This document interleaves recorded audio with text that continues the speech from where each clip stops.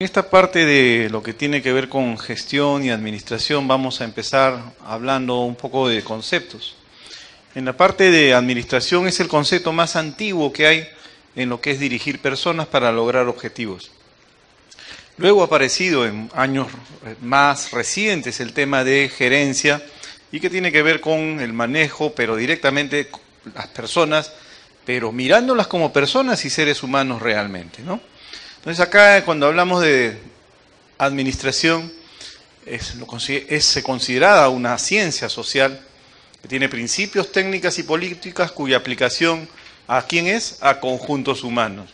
Y que permiten que establecer sistemas racionales de esfuerzo cooperativo entre todas las personas para lograr qué cosa? Propósitos comunes, que individualmente no sería factible encontrar. Entonces la administración conceptuada así es ¿Cómo hacemos para que un grupo de personas puedan llegar a determinados objetivos que plantea la institución o la organización? Pero de la mejor manera. Antiguamente esto no era de la mejor manera. Era de la mejor manera para la organización, pero de la peor manera para las personas que trabajaban ahí. Existe eh, en el través del tiempo administración científica, calidad total, regenería. En la primera, Taylor y Fayol. En la calidad total, Deming, Yuran, Crosby y en reingeniería las dos personas que están acá. En la actualidad ya no se habla de reingeniería, vamos a ver por qué. Algunas veces se habla de rediseño, se sigue hablando de calidad y mejoramiento continuo, pero uno de los elementos que ahora se habla más son buenas prácticas. Buenas prácticas de gobierno corporativo, buenas prácticas de almacenamiento, buenas prácticas de tal cual es el término actualmente utilizado. Acá vemos en las tres que acabamos de mirar en la lámina anterior algunas características. La administración científica, en comparación con las otras tres, tenían una serie de elementos, instrumentos de realizar, pero lo que se ha visto con el tiempo es que realmente no generan un cambio alguno. Luego, el riesgo es bajo y el tiempo requerido es corto. Eso por eso lo utilizaban en la parte, porque el tiempo utilizado para generarlo era corto, pero si no teníamos ninguna respuesta, ¿para qué lo usábamos? En el otro extremo de la reingeniería, si bien era un tema que provocaba un cambio radical, con un cambio a nivel estructural y cultural, esto era lo que uno se requería para hacer toda una generación de que todas las personas que están ahí cambien, pero esto tomaba demasiado tiempo. Era muy largo tiempo, como un año o más, y había un riesgo muy alto. Y esto ya no es aplicable en la actualidad. ¿Por qué? Porque en la actualidad es tan dinámica la situación que si esperamos un año, terminamos un año y, y tenemos que volverla a hacer porque ya cambió todo. Entonces ya no es aplicable. La reingeniería es muy buena, pero ya no es aplicable por el tiempo que demora. La calidad, en cambio, sí generaba siempre cambios. Había un nivel de cambio, era a nivel cultural, a un riesgo moderado. Entonces, este sí se ha, se ha seguido trabajando no como calidad total, sino como mejoramiento continuo de la calidad. Um, y si hablamos de gerencia, decíamos que este término gerencia deviene después del gran término de administración, pero lo incorpora. Para algunos, para algunos, la administración solamente es ser eficiente en el uso de los recursos, es decir, gastar lo necesario, gastar el menor costo y sin sacrificar calidad en lo que estamos haciendo. Sin embargo, en lo que es gestión va más allá. Hacen esto los gestores, pero adicionalmente ven qué es lo que día a día podemos tomarlo como oportunidad y sobre eso apalancarnos, ser nuestro sustento y lanzarnos a una nueva travesía, a un nuevo desafío. Eso constantemente son los gestores actuales que están mirando. No es que están, ya tengo un plan, ok, sobre eso nada más trabajo. No, estoy viendo ese plan, cómo lo voy mejorando cada vez, nuevas cosas que han salido el día de hoy, qué salieron en las noticias, qué salió en internet, que me pueda ayudar. En la reunión que hubo, ustedes han ido a tal cual reunión, qué novedades han traído sobre estas, qué cosa puede ayudarnos para generar más valor en lo que hemos establecido. Es decir, nunca se queda quieto, es inquieto y sigue para adelante. Entonces la gerencia Además, también la otra novedad es que mira a los seres humanos como lo que son seres humanos y que detrás de una persona hay una persona que necesita el trabajo, necesita el ingreso y detrás de ella también hay una familia y una familia que quiere que regrese vivo y sano a su casa y que viva muchos años, ¿no? No que trabaje, se desgaste y no sirva para nada después y rápidamente muera, fallezca o se discapacite, eso no es lo que se quiere. El gerente de ahora entonces mira a las personas como realmente lo que son. Entonces, gerencia, la acción que viabiliza la aplicación de recursos que le ofrecen para lograr objetivos predeterminados. Un grupo cooperativo de personas dirigen sus acciones para conseguir objetivos. El gerente es el que dirige todo este gran equipo. La finalidad, lograr resultados. ¿Mediante quién? otras personas, muchas personas, y él mismo también, no debe dejarse de lado. El mejor ejemplo de gerencia no es la de un barco la de un ómnibus, que cuando el ómnibus o un barco se detienen, ¿qué pasa en el ómnibus? Se queda parado, se queda tirado en la carretera, pero siguen vivos, ¿no es cierto? En un barco, bueno, podrían decir, hay más riesgo porque se queda varado en el mar el barco y podría haber, si hay mucho movimiento, podría incluso encallar o, poder incluso hundirse. El mejor ejemplo actual de gerencia es, acabamos de escuchar un desastre, un desastre aéreo, ¿no es cierto? Esa es la actual visión de un gerente. Un gerente está piloteando un avión con toda su gente que está dentro como tripulación y también todos los pasajeros. Todo el equipo, todos juntos. Si la cosa va mal, todos se mueren. Si la cosa va bien, todos salen exitosos, todos salen con, con vivas, bandas cuando llega a tierra firme. Actualmente, ¿qué sucede en algunas administraciones? La gente queda mal y el jefe se va, ¿no? A cualquier sitio, se salva primero. Y eso no es. Vimos el, ¿se acuerdan el transatlántico en Italia?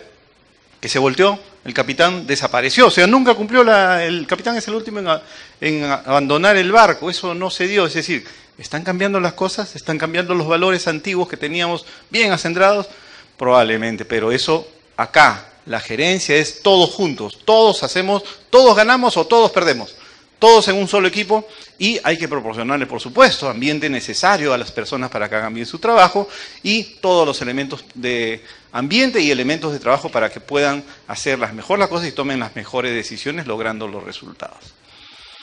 Ya hablando de niveles administrativos, tenemos un nivel operativo propiamente dicho, donde están los trabajadores, en un hospital, los trabajadores propiamente dicho, después viene nivel de jefes, jefe de servicio de departamento, los mismos directores, más arriba los gerentes de las redes o de las direcciones regionales y más arriba un nivel que dirige todo el país.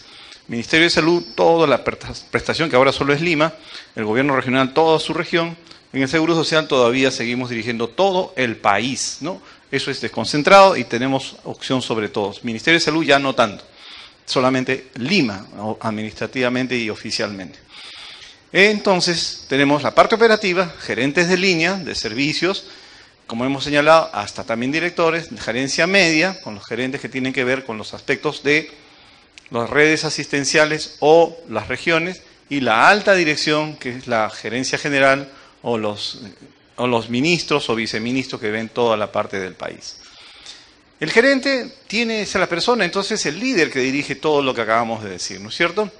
Se espera de él que tome decisiones que tengan un impacto significativo y positivo sobre toda la organización. Y en el tema de lo negativo, si hay algo que no se puede controlar, igual que los desastres, los sismos, los huaicos, ¿qué es lo que se tiene que hacer? Si no se pueden controlar, lo que hay que hacer es todas las medidas necesarias para mitigar el impacto, o sea, disminuir al máximo el impacto que se pueda tener. Igualmente, un gerente tiene que ver no solamente lo significativo y positivo, sino estar mirando qué cosa puede suceder que está fuera de control del mismo, pero qué medidas tiene que tomar para que no impacten tanto y disminuya el impacto a la hora que llegue a la organización.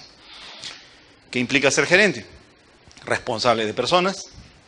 Y esta responsabilidad implica entender que las personas necesitan de ese trabajo, pero también asumir errores de una mala contratación. También asumir errores de una mala contratación. Perfecto, gracias.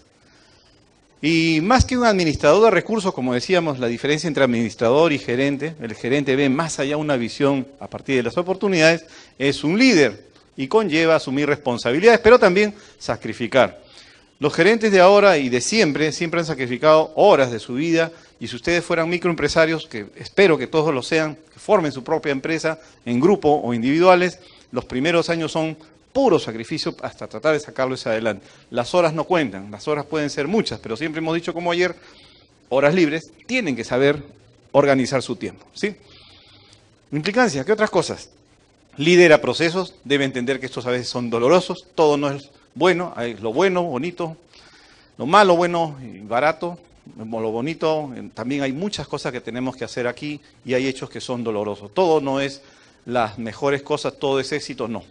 Por tanto, el gerente de hoy no es un Dios, es un líder de un proceso, es un estratega. Y vamos empezando entonces ya con todos estos conceptos previos, eh, algunas preguntas de examen que pudieran venir. Esta es una de las clásicas que viene, ¿no? ¿Cuál es el orden de los elementos que conforman la administración?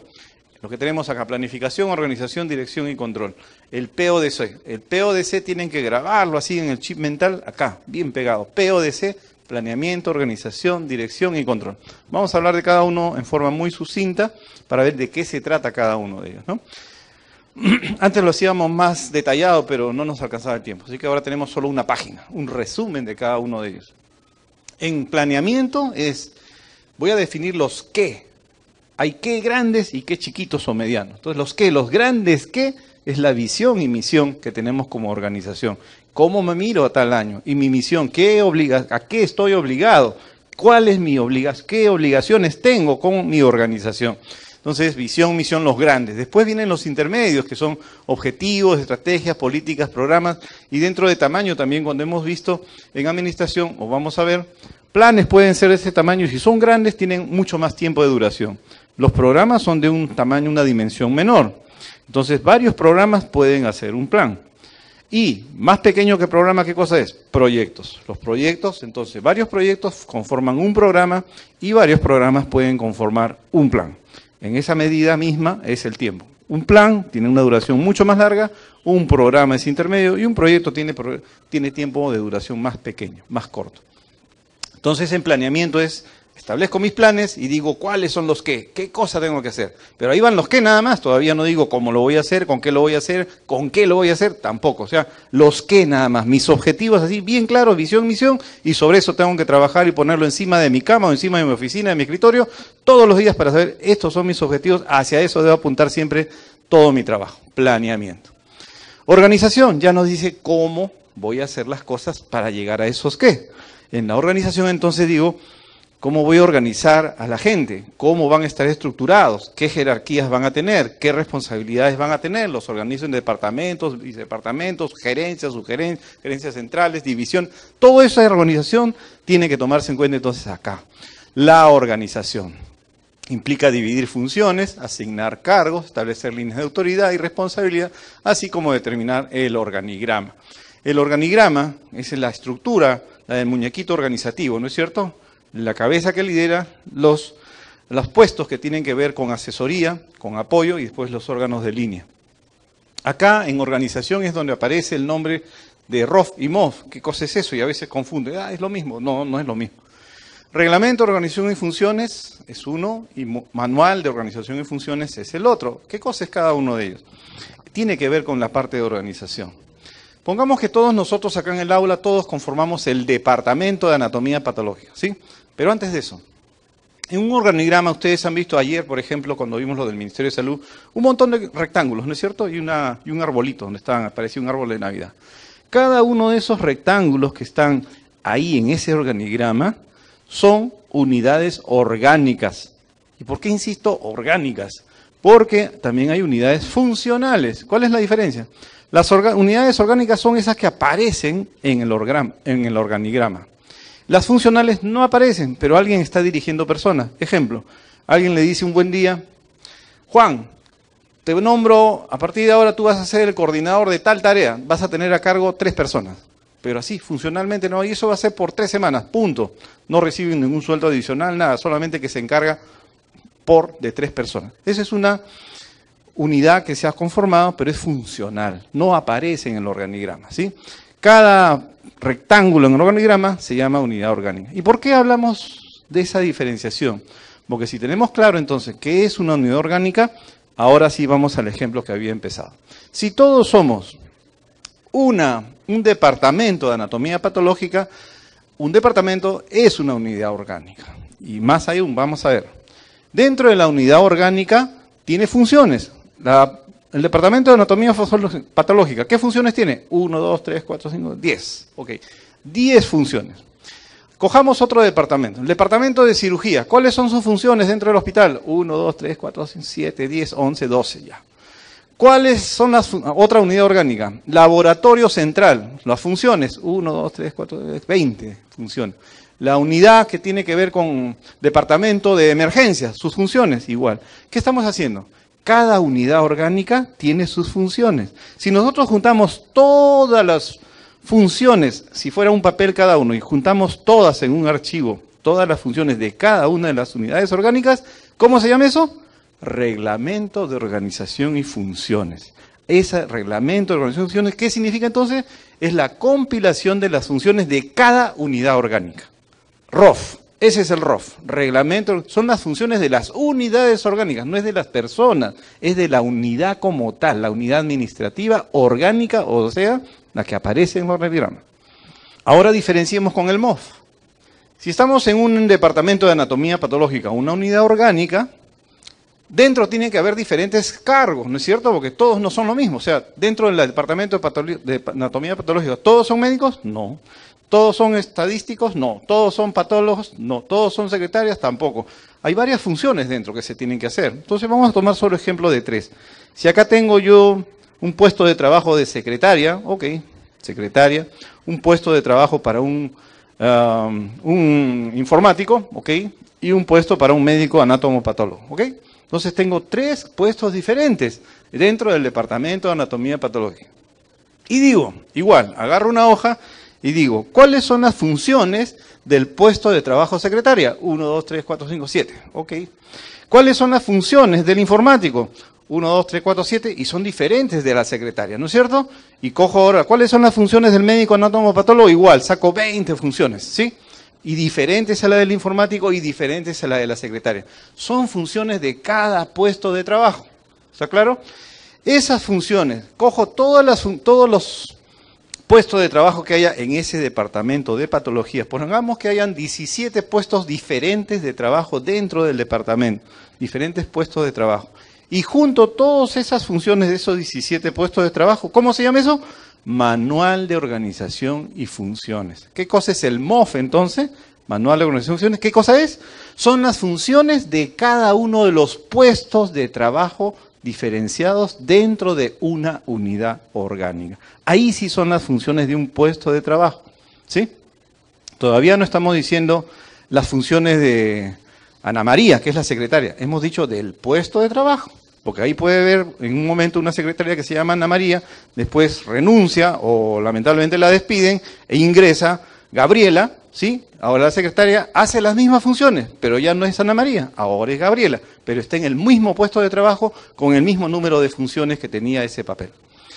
Entonces, diferenciemos de ahora unidades orgánicas por un lado, las funciones, si compilamos todas las funciones de las unidades orgánicas, eso se llama ROF, Reglamento de Organización y Función. Y dentro de una unidad orgánica hay puestos de trabajo y cuando compilamos todas las funciones de los puestos de trabajo, eso se llama MOF, Manual de Organización y Función. ¿Qué más tenemos a partir de, los puestos de trabajo?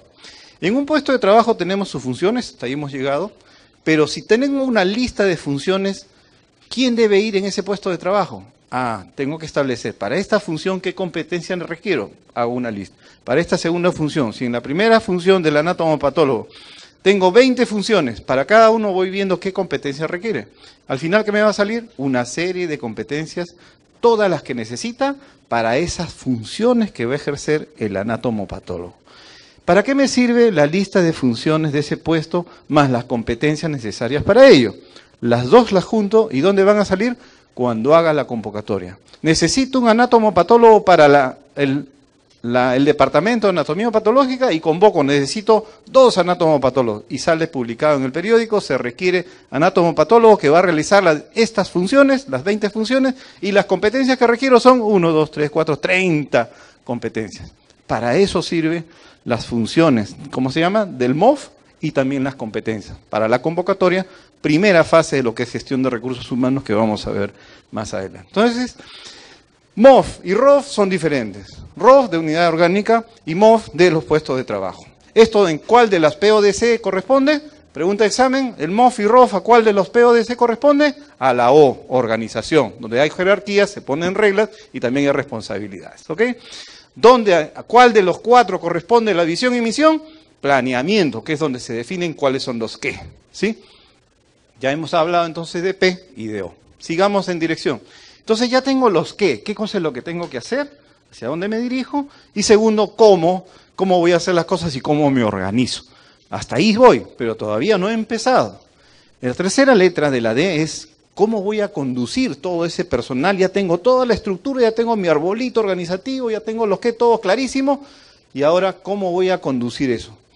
Todos van a ser, disculpen la expresión, todos van a ser lisurientos, pongamos que alguien diga eso es una política. Alguien dice, todos van a usar lisuras. Otro dice, Ni una lisura. El primero que haga una lisura, sancionado o se le expulsa de la organización. Otra política es todos deben ser sumamente amables y tienen que dar una sonrisa en la primera, en el primer saludo y en todo saludo que haya. Es una política, es cómo vamos a conducir a toda la organización, cómo queremos que sea toda la organización para el servicio que estamos dando o para la fabricación de los productos que estamos dando. La dirección es cómo vamos a hacer eso, cómo lo conducimos, cómo hacemos que todas las personas tengan esas políticas y las ejecuten. Ahí el ejercicio de la dirección va a tener necesidad de tres elementos principales. ¿Cuáles son? Liderazgo, comunicación y motivación. Eso vamos a ir poco a poco detallando más adelante, pero son los tres más importantes. No es lo único, pero son los más importantes. El jefe tiene que tener verdadero liderazgo para hacer que la gente les haga caso y también que lo hagan no porque es el jefe por el terror que le tienen, sino porque están convencidos de ello. El liderazgo es poder convencer a las personas de algo y que puedan hacerlo y ejecutarlo.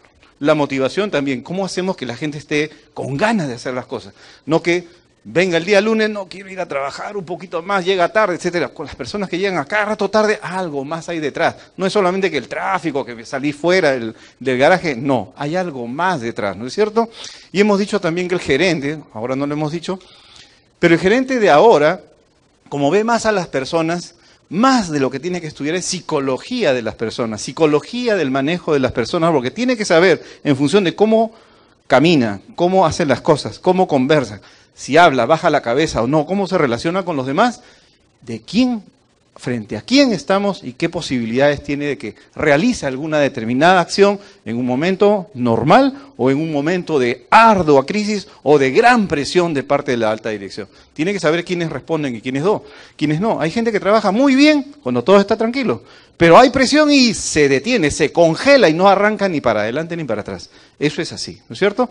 En los médicos también es muy parecido, ¿cierto? Hay médicos que les gusta trabajar con ancianitos y otros que no. Hay médicos que les gustan trabajar con recién nacidos, yo soy pediatra, y cuando no, están pidiendo auxilio, ¿no? Llamen al pediatra, que venga y que lo vea, no, yo no quiero tocarlo. Siendo médicos, ¿no es cierto? Porque son competentes, cada uno sabe a qué cosa es mejor y el gerente es el que tiene que determinar Tú en ese puesto mejor no. Vamos a ponerte en este otro lado. Ahí vas a funcionar mejor. Vamos a probar. Entonces, eso tiene que ver el gerente en la parte de dirección. ¿Cómo logramos motivar haciendo que la gente esté en el sitio que le gusta más, donde puede rendir más y donde tenga ganas de llegar? Su hora de entrar es a las 8 y a las 7 y media ya está en punto todos los días porque tiene ganas, está muy motivado para hacer las cosas. POD, dirección. Y el último es el control. Si ya hemos visto cómo se planea, tengo los qué, cómo voy a hacerlo, ahora la dirección ya imprimí todo, tengo mis políticas para realizar las cosas, ahora ya está encaminada la ruta, ahora tengo que ver si lo que he establecido está yendo bien o no, o hay desviaciones. La función de control debe permitirme a mí saber si estoy en la ruta, segundo, debe permitirme ver si estoy desviándome, pero debe permitirme ver cuando estoy empezando a desviarme. No puede ser que un sistema de control me diga, oye, te has apartado de la ruta 500 kilómetros. Uy, yo necesitaba que me avisen cuando estaba ya dos kilómetros fuera de la ruta, no 500 kilómetros, ahí no hay lugar, se puede, por supuesto, pero voy a demandar más recursos y cuántas cosas voy a tener que gastar. El sistema de control entonces necesita primero identificar oportunamente desvíos en las metas, desvíos en la ruta. Segundo, debe saber indicarme por qué es que me desvié. Y tercero, debe darme los elementos necesarios para decir cómo puedo regresar otra vez a la ruta. Eso es a través de un sistema de información adecuado. Acá en control tenemos que, después de leer esto, implica la comparación de los resultados obtenidos respecto de los objetivos planteados. Pero esto acá da la impresión que fuera al final. No, el control tiene que ser permanente para ver que no me estoy desviando. ¿Qué pasa si necesito cuatro horas para llegar de acá a Ica y a la cuarta hora estoy en otro lado? ¿No es cierto? Me desvié y terminé en otro lado. ¿Para qué voy a esperar el final? Tengo que ir en el camino si estoy dentro de la ruta. Después, en función de esto se reforzarán estrategias o se tomarán medidas correctivas. Control, vamos a hablar un poquito más. En control habíamos dicho hay cuatro temas. Uno no vamos a tocar, pero lo vamos a nombrar. El SME famoso, supervisión, monitoreo y evaluación. SME, supervisión, monitoreo y evaluación. El cuarto es auditoría. ¿Qué es supervisión, monitoreo y evaluación? Ah, son parecidos, todos son iguales. No, señor. Es muy parecido a lo que antes decía. Eficacia, eficiencia, efectividad es lo mismo. No es lo mismo, ya aprendimos que no es lo mismo, ¿no es cierto? Con ustedes hemos hablado eso ayer todavía, ¿no? Hoy día nos toca hablar de la diferencia eficacia, eficiencia y efectividad. Entonces vamos en control, supervisión, monitoreo, evaluación. Primero empecemos con monitoreo, luego supervisión y después evaluación. Monitoreo. Todos conocemos un paciente en cuidado intensivo, la idea, ¿no? Que hay un paciente que está monitoreándose, ¿sí? Le hemos sacado algunos parámetros, cuáles son los más importantes para mirar, identificar que todo va bien, ¿sí? Está constantemente registrando en, en el monitor electrónico, porque cuando no hay monitores electrónicos, ¿quién hace de monitor electrónico? Todos lo hemos hecho, ¿no es cierto? Nosotros mismos, el interno, el residente 1, ¿sí? Ponte a monitorear hasta que llegue la ambulancia, ¿no? O ponte a monitorear durante todo el camino de la ambulancia. ¿Quién lo hace? El médico es un monitoreo humano que hacemos. Pero cuando tenemos aparatos electrónicos, el monitor es el que se encarga. Cinco parámetros, diez parámetros, los que tengamos, y van registrando en forma continua. ¿sí? Mientras todo va bien, no pasa nada. Pero de pronto hay un momento en que suena la alarma. ¿Qué pasa cuando suena la alarma en un monitor en cuidado intensivo? Todo el mundo se queda mirando y dice, oye, parece que está malogrado, ¿no? Dice, ¿así pasa? No. Todos voltean e inmediatamente van al lado del paciente a ver qué pasó, qué es lo que está sonando de alarma, qué es lo que falló, qué es lo que tienen que hacer para regresarlo a la situación inicial. Ese conjunto de acciones que empieza a partir de la alarma, donde la gente se acerca, mira qué pasó, identifica la causa, resuelve, apoya y revuelve, vuelve a la situación inicial para que otra vez esté sin sonar la alarma, eso, aunque no lo entiendan ahorita, lo van a entender mejor después, esa es una acción de supervisión. Alguien diría, pero ¿cómo? ¿Qué están hablando? Supervisión no es esa donde van y le cortan la cabeza y le dicen, usted está mal, vaya, este, está despedido y usted está haciendo mal las cosas, también se despide, o sea, todo el mundo despide, después se va a tomar su café, su restaurante. Esa no es supervisión. Esa es la mal llamada supervisión. La supervisión en realidad es una acción capacitante, de apoyo, de ayuda a las personas. Y eso lo vamos a entender ahorita. Este ejemplo que he dado de cuidado intensivo es de personas. ¿Se puede aplicar en salud pública? También, y en gerencia. El ejemplo viene ahora. Todos sabemos que estábamos en peligro del ébola, no llegó felizmente, pero sigue habiendo y la tasa de más gente con euro, la saben que sigue creciendo, parecía que ya estaba yendo hacia abajo y ha vuelto a subir otra vez en la zona de África. O sea, no estamos exentos de peligro todavía, porque hay mucho turista que viene de esa zona también. Segundo, chikungunya ha llegado, tenemos más de 30 casos que son importados, no son propios de acá, pero ya tenemos chikungunya en el país. Y el tercer elemento que se ha dicho que va a llegar es otra vez el cólera. ¿Sí? El cólera, pero sí ya tuvimos el año 90. El año 90 ustedes estaban chicos todavía, ¿no es cierto? Chicos, entre comillas. En realidad, sí, chicos, porque es hace tiempo, ¿cierto? Yo estaba ya de pediatra y necesitamos pediatras para el hospital del niño que hay una cantidad enorme. Pum, me alisté y ahí estaba. Cantidades de niños, todo un pabellón, el pabellón. Los que conocen el hospital del niño, pabellón 7. Un pabellón completo para los niños que llegaban, salían, llegaban, salían. Pero no se nos moría ninguno. O sea, venían, se hospitalizaban los que estaban en peores condiciones, ¿no? El cólera va a regresar, o sea, ya se ha dicho, estamos tomando medidas, este viernes, por ejemplo, mañana es viernes, ¿no? Tenemos una nueva reunión del RCI, ¿se acuerdan qué fue el RCI? Reglamento Sanitario Internacional 2005 en revisión. Los 10 ministerios, mañana, también tengo que ir mañana, por eso es que no tenía clase mañana, para ver qué más nos van a hablar, cómo va la chikungunya, cómo están las medidas para el cólera y otras cosas más. ¿Por qué tomo el cólera para el tema de monitoreo? Una de las formas de poder monitorear el cólera es, todos sabemos las curvas de los últimos tres años de frecuencia, incidencia, casos nuevos de diarrea por cada una de las regiones. Entonces, ¿qué ponemos a monitorear? ¿Cómo están tus curvas? Tu canal endémico, ¿no? Tus signos de tu parte de alerta, que me puede decir, estás yéndote fuera en función de los tres últimos años, para ver. Entonces, a cada uno le pongo ello y si se salta esa curva, debe sonar una alarma. Entonces, tengo, imagínense una gran pantalla o varias pantallas donde cada región está monitoreándose día a día cómo está la frecuencia de las diarreas. Estamos en fase de monitoreo de una y hemos puesto un umbral para que cuando pase el umbral suene la alarma. El que está monitoreando día y noche, de pronto un día, vamos a poner el mismo sitio por donde apareció el año 90, apareció en Ancas, por Chimbote, ¿cierto? De pronto está dos de la mañana, está bien despierto, no está durmiendo, y de pronto suena la alarma del área de Ancas. ¿Por qué? porque está indicando que la frecuencia de incidencia de casos nuevos de diarrea empieza a subir. Y alguien ahí, igual que en el paciente, alguien podría decir, oye, creo que está fallando, hay que llamar el lunes al, que ve las computadoras, acá está, está sonando la alarma ahí, ¿no? Mejor le hacemos, vamos a esperar un poco más a ver si sigue sonando. ¿Eso hacemos? No. lo que hacemos es, algo está sonando, hay que, vamos, lo primero que hacemos, llamamos directamente al encargado de inteligencia sanitaria o a alguna persona de la gestión ¿Qué está pasando ahí? Confírmame si está habiendo más casos. Sí, tenemos muchos más casos. ¿Cómo está el número de sus, recursos? ¿Cómo están sus recursos humanos? No tenemos suficiente. ¿Tienen recursos pertrechos para todo eso? No tenemos. No, se nos está acabando rápidamente y esto parece que en los siguientes días eso va a colapsar y no vamos a tener. ¿Y por qué no han avisado? No te preocupes. Enseguida se activa el sistema, viene el equipo necesario, empiezan a ver el abastecimiento de todo lo que van a llevar y al menos de 24 horas se constituyen ahí en el sitio y empiezan a ver todos los pacientes, la capacitación al personal médico y no médico, empiezan a llegar todos los demás recursos y llegan a que ese umbral empiece a mantenerse y empiece a bajar, que sea controlada la situación y eso después retornan. La primera fase de registrar cómo van la incidencia es el monitoreo.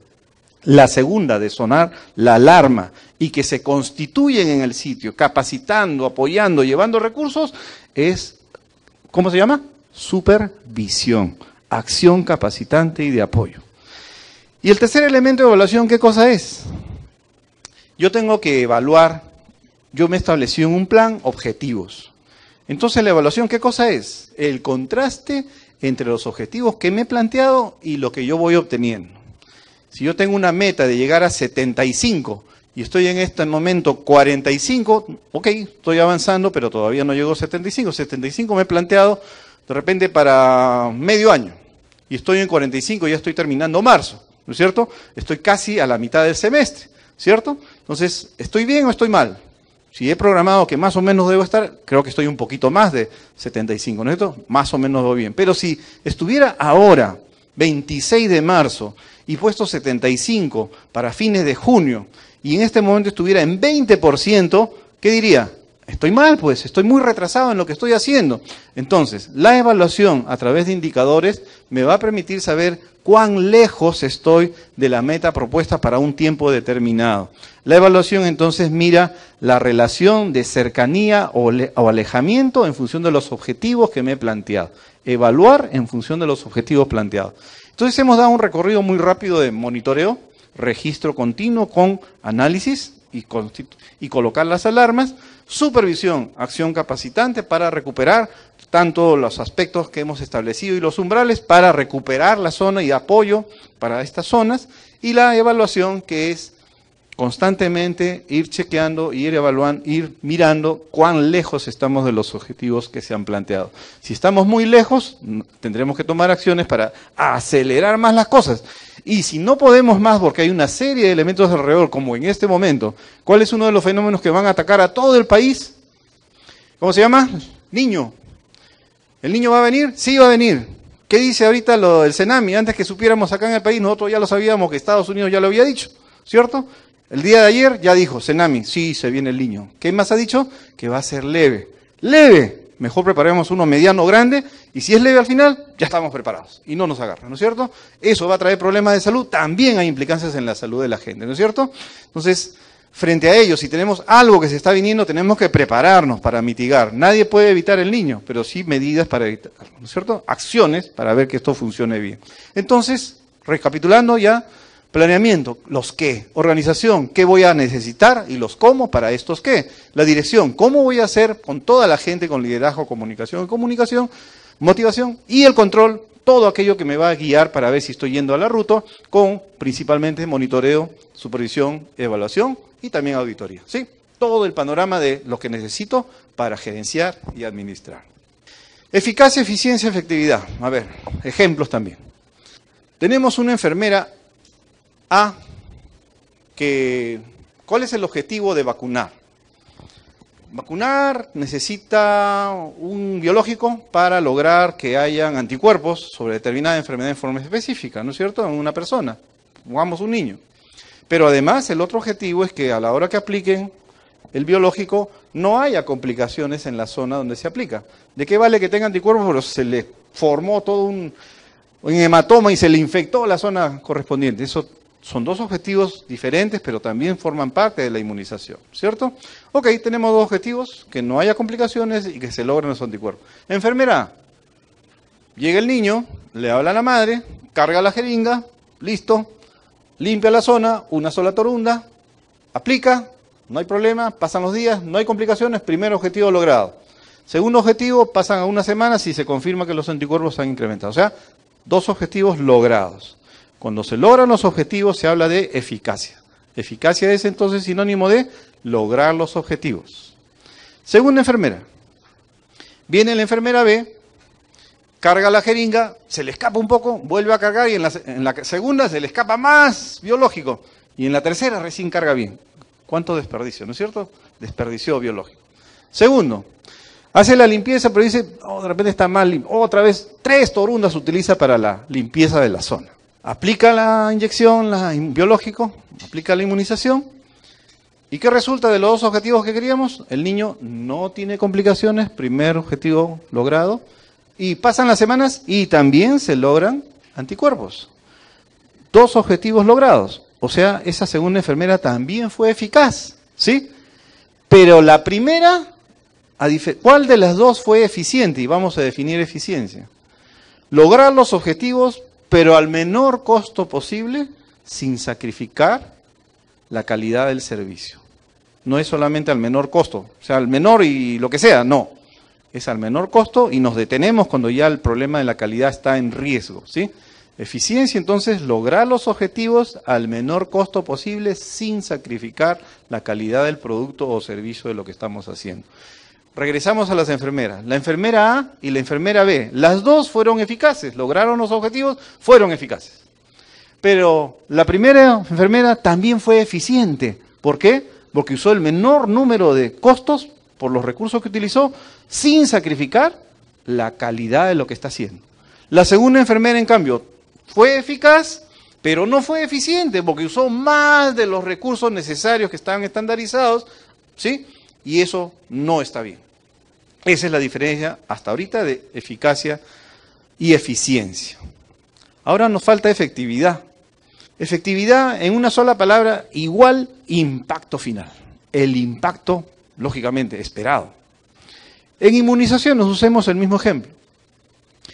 Y para que no haya problemas, hay dos poblaciones, hay una persona que va a estar a cargo de una población y otra persona a cargo de otra población. Para que no haya diferencias, se utilizan enfermeras tipo A, o sea, eficaces y eficientes en los dos grupos. Vacunan, ¿y cuál es el objetivo esperado de un programa de vacunación? Que la tasa de una determinada enfermedad, la tasa de prevalencia empiece a bajar o se anule, ¿no es cierto? Lo que sucedió con viruela, lo que sucedió con sarampión, lo que estamos teniendo en polio, ¿no es cierto? que caiga, disminuya o se anule. Ese es el impacto final esperado. En los dos ejemplos, población A, población, pongamos X, población Z, ¿ok? Ambas con enfermeras A. Pasa el tiempo en el grupo, en el primer grupo, población X, y vemos que la tasa de prevalencia efectivamente empieza a caer. No se logra la anulación completa, pero sí está muy baja. Impacto positivo, logrado este lado, el programa fue efectivo. ¿Ok? ¿Qué pasó con el otro grupo? En el otro grupo, aparentemente empezaba a bajar la prevalencia, pero se estancó, hace un plató, hace recto y después incluso empieza a querer subir. Decimos, pero si han utilizado enfermeras tipo A, eficaces y eficientes, ¿qué pasó en ello? Y entonces uno analiza, y en el ejemplo, ¿qué pasa? El grupo X, la persona que dirigió dijo, vamos a identificar primero toda la población vulnerable y las que tienen también posibilidad de que hay duda, también los vacunamos. ¿Ok? Entonces, a toda la población vulnerable en este tema, las vacunaron. ¿Qué pasó en el grupo Z? El que dirigió la operación de toda la programación, de, de todo el programa de vacunación en este grupo Z, dijo, vamos a vacunar a todos. Y alguien dijo, pero también está compuesto por una población migrante que va y viene. No, no los consideres ellos porque, en fin, vienen muy de vez en cuando y justo en esa población era la población más vulnerable donde la mano del Estado casi no llega y no los tomaron en cuenta. Esa población es la que lamentablemente hizo que en el globo de toda la población entonces se mantuvieran los niveles de prevalencia y no se logre el impacto final, porque no vacunaron a la población más vulnerable. Corolario, los problemas de efectividad están relacionados principalmente con la planificación. En el grupo X fue bien planificado y en el grupo Z fue mal planificado. Aun cuando tenían enfermeras eficaces y eficientes, no es suficiente. Para la efectividad necesitamos planear muy bien las cosas para lograr tener. Entonces, eficacia, lograr los objetivos, eficiencia, lograrlos, pero al menor costo, con, sin sacrificar la calidad, y efectividad, lograr el impacto final. ¿Estamos claros? Son diferentes, no son iguales, ¿no es cierto? Entonces, ahora leamos algo, algunas cosas de eso. Eficacia, alcanzar o lograr los objetivos propuestos, tales como, hay varios tipos de objetivos, ¿no? Hay objetivos de rentabilidad, de crecimiento, de diversificación, supervivencia. Eficiencia, es utilizar de la mejor forma posible los recursos disponibles, o sea, no desgastarlos, hacer el uso menor y cuando se compran al menor costo posible, ¿no? Son ejemplos nada más. Planes. Entremos a planes en la parte de planeamiento.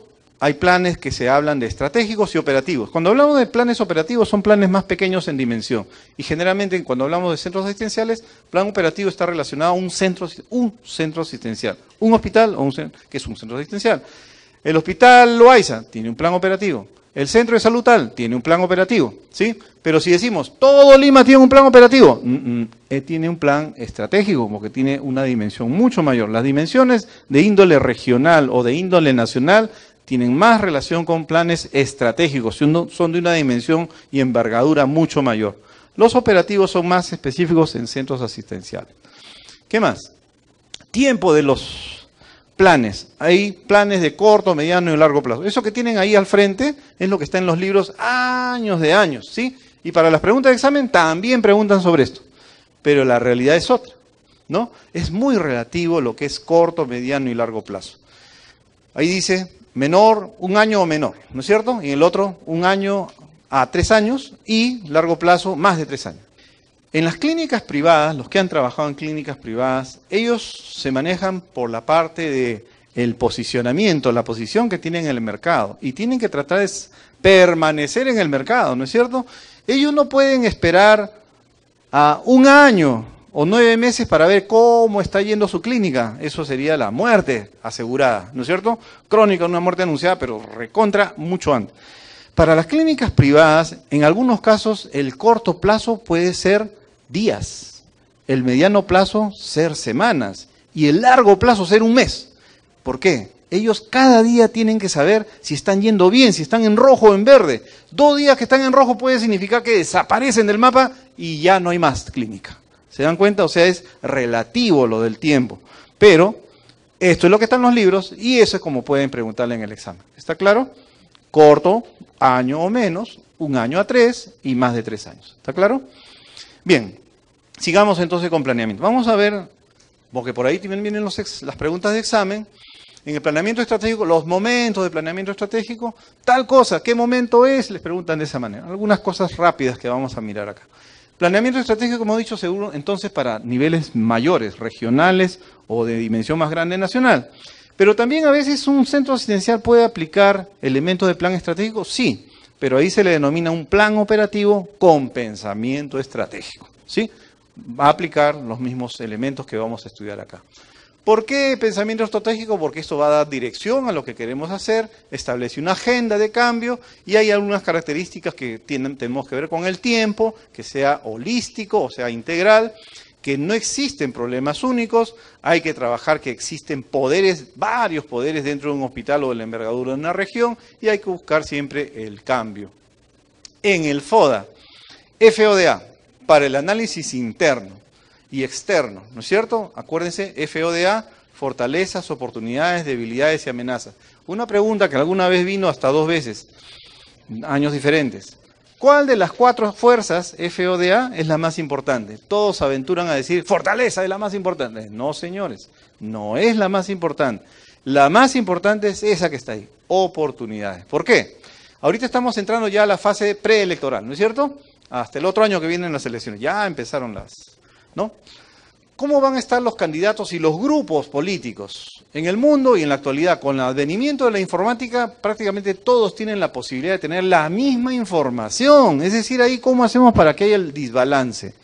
¿Cómo es que se diferencian unos y otros? Porque uno puede tener una información A, acá también información A, y uno a partir de la información A relaciona y procesa en su mente y dice, a partir de esta información yo puedo hacer tal cosa. Ve esa información como una oportunidad para hacer otras más.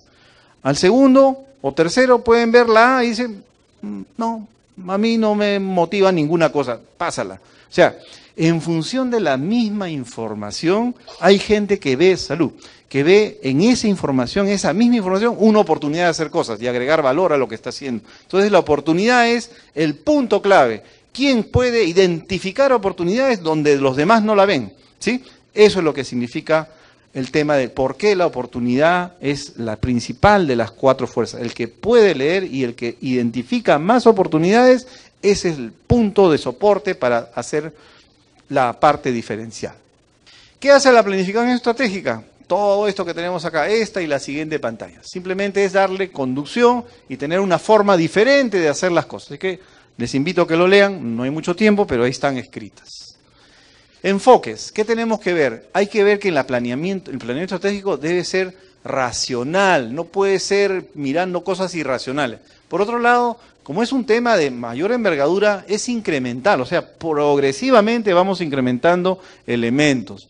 Aproximaciones sucesivas, o sea, ver diferentes dimensiones, una aproximación de índole social, de índole político, de índole económico, de índole, qué sé yo, de diferentes enfoques tenemos que mirarlo.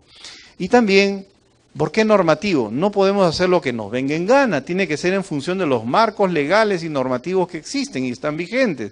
Otro, adaptativo. Si hay algo que no me gusta, pues tendría que adaptarme de la mejor manera para que pueda implementarse. Y el enfoque realmente estratégico. Acá con lo que les decía, vamos a ver de un establecimiento, pero planificación operativa, pero con un enfoque o un ah, pensamiento estratégico. Estos son los momentos, ¿sí? los seis momentos del planeamiento estratégico. Algunas veces van a preguntar, ¿y esto de acá, qué momento es? ¿No es cierto? Rápidamente, resumiendo también. Primer momento, enunciativo. ¿Qué vamos a ver ahí? Producto determinado eso, visión y misión formulados. Ahí sale en el momento enunciativo. Segunda parte, si ya tengo los grandes qué, visión y misión, ahora voy a ver, tengo para llegar a esos qué, tengo que hacer un análisis de todo lo que tengo, ¿sí? Abro mis puertas, análisis, abro toda la información de diferentes tipos para ver qué tengo. Y después, eso es, termina el análisis y ahora tengo que hacer, ¿podré trabajar con toda esa información? No, tengo que hacer elementos y procesamiento para lograr sintetizar y por eso se le llama un momento sintético. Si ya tengo entonces todo lo que miré, analicé y ya lo tengo sintetizado, ¿qué me falta ahora? Tengo que lograr ahora con todo ello objetivos menores, no tan grandes como el misión y misión, y entonces en el cuarto momento se llama normativo propositivo. ¿Cuál es el producto final de este momento? tengo los objetivos generales y los objetivos específicos. Ese es el punto producto final de este momento. Entonces ya tengo hasta acá qué cosa? Tengo misión, visión y tengo objetivos generales y específicos. Si ya tengo todos los que, grandes y medianos, ahora tengo que ver cómo voy a lograr, cuáles son las mejores alternativas para lograr esos qué. Son establecer las estrategias. Es el momento estratégico. Estrategia no es todas las alternativas. Estrategia es definida como la mejor alternativa para lograr algo. Subrayo, la mejor alternativa para lograr algo. No, tengo estas estrategias, sí, son diferentes alternativas. No, las estrategias que terminaron formulándose son las mejores alternativas para lograr los que, que he planteado. Y si ya pasé todos estos cinco momentos, termino ahora sí, ¿cómo lo operativizo? ¿Cómo hago que queden en actividades ya como para poder definirlas bien, que la gente las conozca bien, las entienda y empiece a ejecutarlas. Esa es la última parte donde coloco en una matriz actividades, cronograma, indicadores, responsables, para entonces, en función de eso, voy viendo si estoy llegando a la meta propuesta o no. Esos son los seis momentos. Rápidamente cada uno.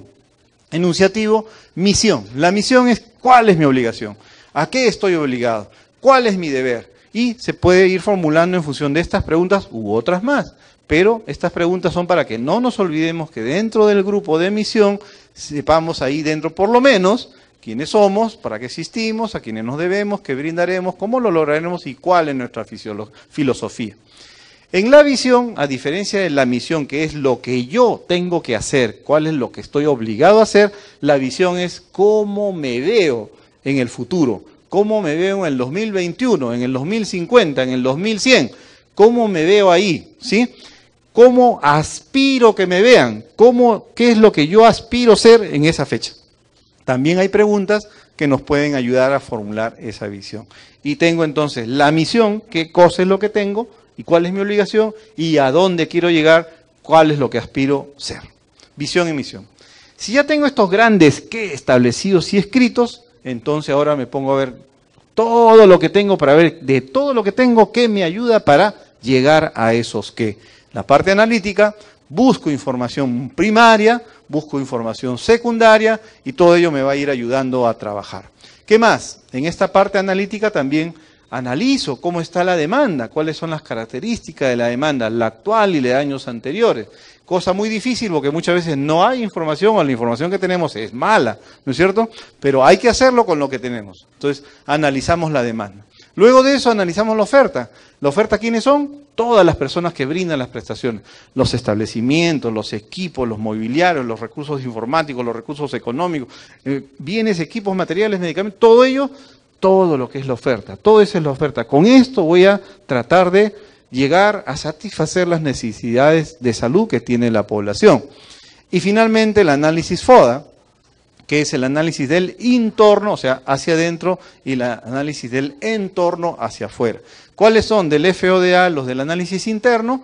Las fortalezas y las debilidades. ¿Y cuáles son los elementos del análisis externo? Las oportunidades y las amenazas. Oportunidad y amenaza son lo que están por fuera de lo que yo estoy analizando. Están lejos de mí, pero adicionalmente es algo que está en futuro. Está afuera y muchas veces está en futuro. ¿sí? En cambio, fortaleza y debilidad es algo de lo cual yo tengo. Yo, estoy, yo tengo para mí. Y ojo, miren que en qué momento aparece el análisis FODA.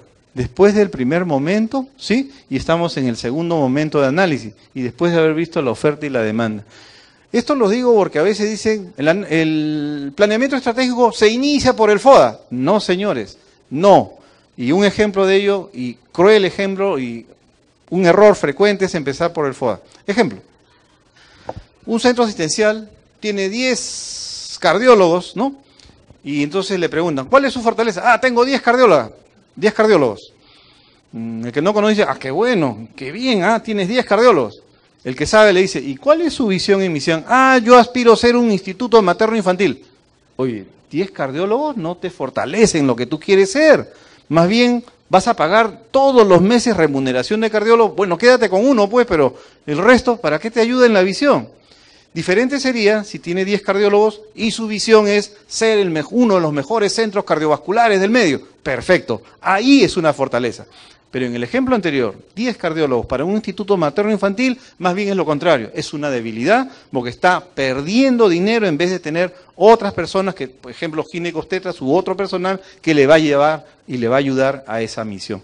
Entonces, corolario, el FODA se analiza y se establece y se hace el taller después que tengamos claro cuál es nuestra visión y cuál es nuestra misión. Luego de eso ya puedo decir si es una fortaleza o es una debilidad. Por otro lado, oportunidad y amenaza. Oportunidad es todo aquello que no lo tengo todavía, pero que se viene, o sea, en un futuro inmediato o más largo, inmediato o mediato, que no está conmigo todavía, pero es positivo para la institución. Y amenaza es lo contrario. Está también a futuro, todavía no forma parte de mí, pero va a causar serios problemas a mi organización, no solamente económicos. ¿sí? Un pequeño ejemplo y un mix que a veces sucede y hay que analizar eso bien en las preguntas de examen. Teniendo estas cuatro cosas claritas que acabo de decirlas, vamos a hacer un ejemplo para ello. Pongamos, mm, soy, en el ejemplo, yo soy un centro, un policlínico, un centro de primer nivel de atención, ¿ok? Y dice el enunciado, hay una ONG que el año 2017 va a llegar al Perú y viene con fondos económicos y va a dar énfasis al apoyo a los establecimientos de primer nivel de atención. ¿Eso es una es hacia afuera o hacia adentro? Hacia afuera. ¿Es positivo o es negativo? Es positivo. Entonces, ¿es una amenaza o es una oportunidad? Es una oportunidad. Está fuera de mí, está a futuro y es positivo para mí. Es una oportunidad. Diferencia con amenaza. Otro ejemplo.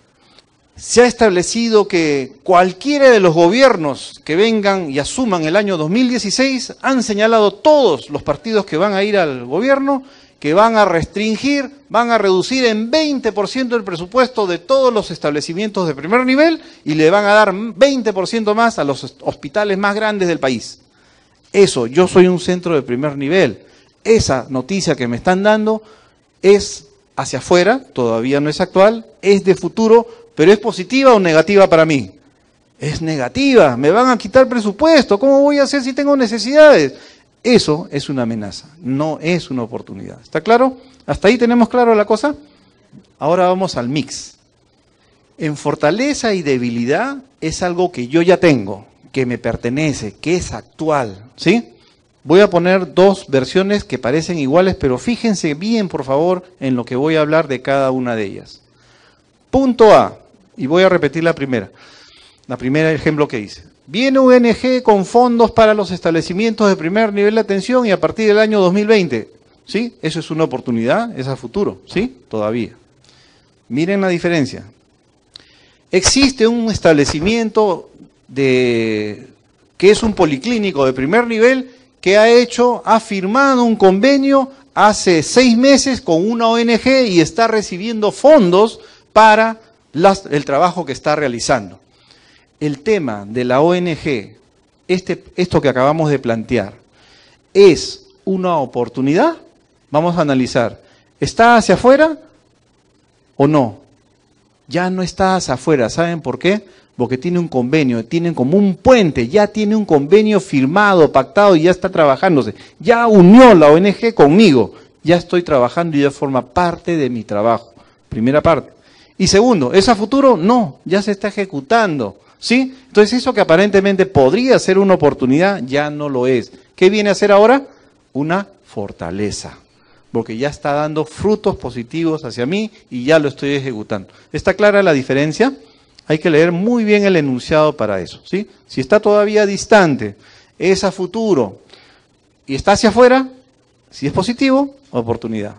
Si es todo esto, pero es negativo, es amenaza. Bien, avancemos entonces.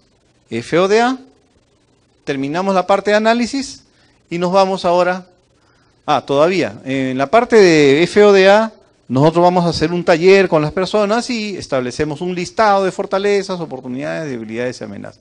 Todavía estamos en el momento de análisis, ¿no? Y ahora, teniendo todo eso así, ahora vamos a un momento de toda esa información, ¿cómo la sintetizamos? Hay por lo menos dos herramientas que son las que vamos a ver. Una de ellas se llama la matriz FODA, la matriz de consistencia vertical. ¿Qué hacemos ahí? Hacemos un cruce de cada una de las cuatro fuerzas, FODA, la O con la F y con la E y la A con la F y la D. Entonces en el cruce de O con F se llama campo FO, A, F y así sucesivamente. Tenemos cuatro campos. Y para otras personas le llaman a esto formulación de estrategias. Porque como acá tenemos Pongamos que hay una lista de 15 o 10 oportunidades y acá 7, 8 fortalezas. Yo busco de estas oportunidades cuáles pueden conjugarse con una o dos fortalezas y entonces estoy ayudando a sintetizar. Si acá tenía 10 más 7, 17 oraciones, 17 elementos, a la hora que yo fusiono dos o tres de acá con dos o tres de acá, ya estoy disminuyendo el número de enunciados. Esa unidad de hacer síntesis es lo que llamamos una matriz de consistencia, síntesis, y lo que sale en estos campos se le van a llamar estrategias. Para algunos le llaman estrategias. Ahora, ¿cada campo de estos tiene un nombre? Sí. La literatura le da nombre y eso lo vemos en la siguiente.